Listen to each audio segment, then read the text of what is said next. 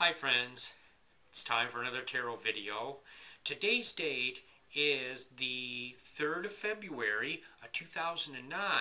Now I'm sitting here in my office shooting because the location I like to shoot at, our angel room with a nice purple backdrop, it's pretty busy right now.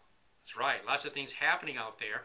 So I decided just to go ahead and use my flip video camera and set myself up here in the office and just kind of like go for it.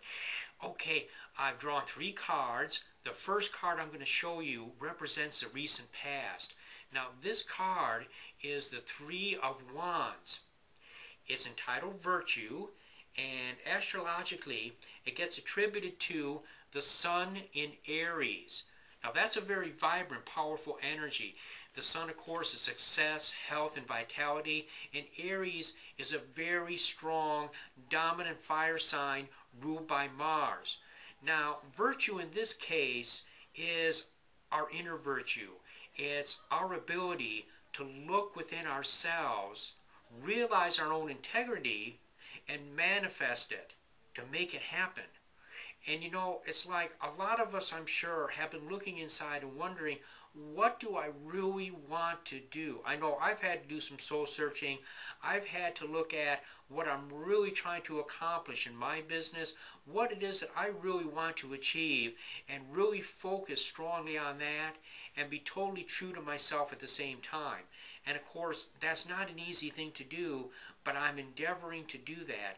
And it's like this energy, it just kind of it pushes us to really look at what's happening and where we're trying to go with it. Now, the next card that I pulled represents the present, and this particular card is a Six of Discs.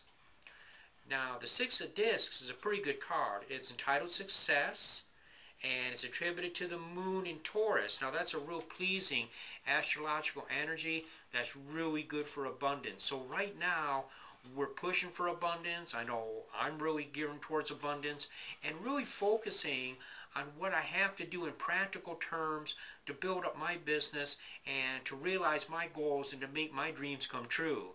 And I'm sure that's what a lot of you folks are going through right now is trying to get things together financially and just keep on moving forward and not let anything whatsoever get you down. And believe me, it's well worth it. It may feel like at times we're pushing through a lot of resistance. We're really trying to overcome a lot of negativity because we certainly do encounter it in our everyday lives. And especially if you look at the TV set uh, with what they're talking about, the recession and all this all this stuff that's going on.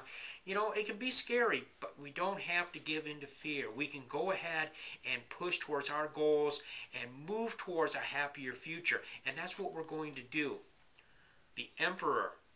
This is aries. This is strength empowerment the ability to rule the ability to really get it together to get everything squared away and just to sit there and know that we are in command so that's what we're headed towards. This has been a challenging time, but you know what? We're like lumps of coal being polished into diamonds. That doesn't happen without some friction. So all of this, I assure you, is very, very worthwhile. Now that's going to conclude our tarot video for today. Uh, please take a look at my website if you haven't before. It's www.bobdecker.net. And I hope you enjoyed this and many, many blessings to you.